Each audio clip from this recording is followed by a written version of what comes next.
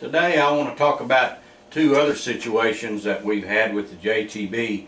One of them being in a motor coach uh, out in the California area and the other being in a Airstream that goes from state to state, does testing at uh, RV parks, um, internet qualities and things such as that. But the uh, first one I want to talk about is the, the motor coach out in California. Uh, they come through here from uh, Nashville one time and uh, give me a call and they said, Terry, can, can we get an JTB installed in our in our uh, motor coach? And I said, sure, we can get it, get one installed.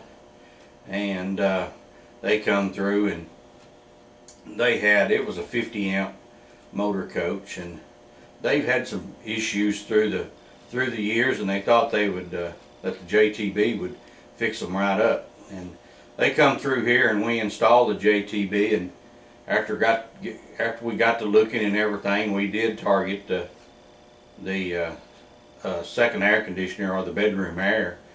And um, I think it pulled 13 amps uh, when we got to checking. And uh, he also asked, he said, well, can we not only install the JTB on that air conditioner circuit, can we kick out a electrical plug uh, that we can use to finish fulfilling the rest of that 20 ounce? And we said, most certainly, we can, we can add an electrical plug.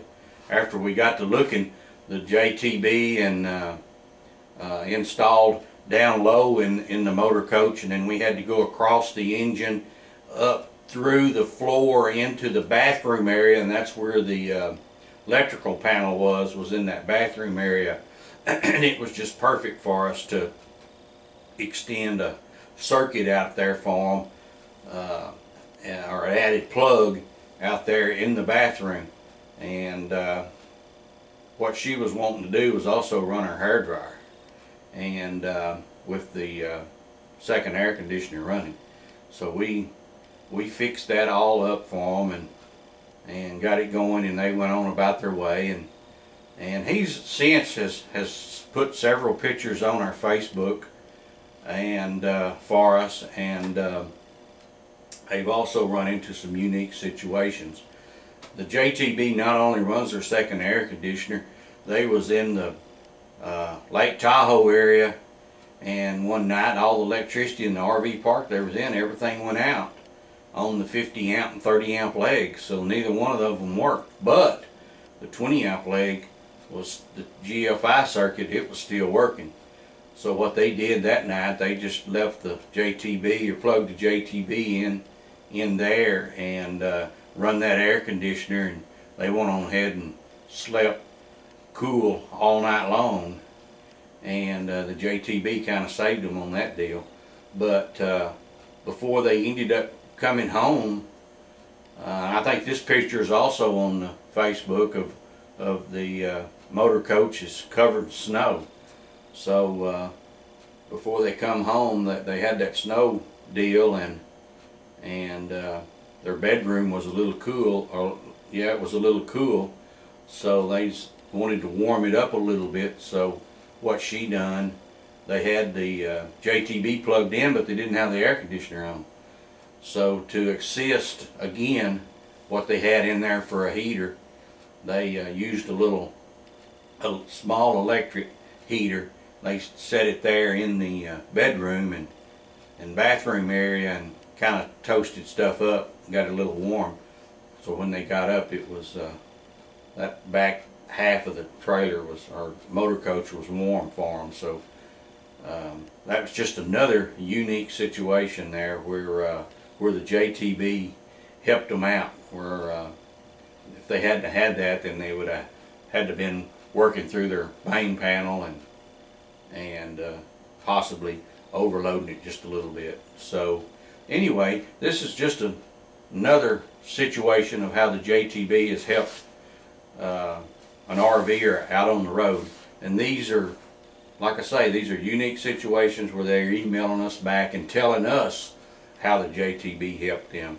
Another situation that I talked to about before was a guy coming through here with an Airstream And he said, Terry, I'm, I'm using all the power that, that the Airstream is putting out. It was a 30 amp.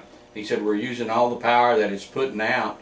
And uh, I'm trying to run a lot of this test equipment. And along with the test equipment is some computers and TV monitors and um, some other stuff. Not sure exactly what the test equipment was, but he says that it, with the air conditioner running, my my Airstream just won't pull the rest of the power. He says, will the JTB help me? I said, absolutely. So we installed a JTB into that Airstream and the Airstream installations are, are pretty tough because of the way they've got them built. But we was able to find us a route and get the wires we needed pulled in the places we needed to get them pulled.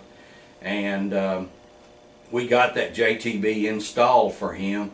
And then we uh, targeted on that situation again we targeted that air conditioner because it, it pulled the most amps. And then when we pull the air conditioner out of the existing electrical panel then that freed the panel up for him to have the circuit that he needed or the power that he needed to run that test equipment and those computers and all of that stuff without interruption so that's just another example of, of where we've got the JTB out and what it's doing um, for for RVs and and uh, this particular case it was an Airstream. Um, but uh, again, all I'm trying to do is enlighten you guys on what the JTB can do and how it can help and uh, how we've uh, installed it and made things happen for some of these RVers. Thank you.